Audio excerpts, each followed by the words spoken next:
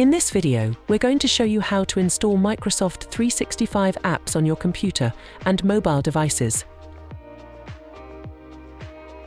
To install Office 365 on your computer, go to office.com and sign in with your New York Tech credentials. Click Install and More on the top right side of your screen. Then select Install Microsoft 365 apps. Click Install Office. The installer will download to your computer. Open the installer file and follow the on-screen instructions to complete the installation.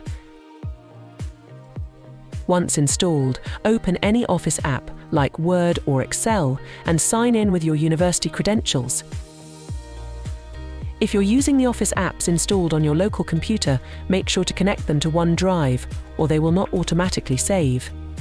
Sign in if prompted. This will enable autosave for your documents.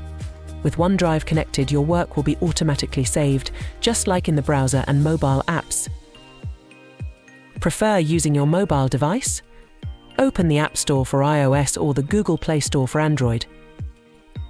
In the search bar, type Microsoft Office and look for the app with the Office logo.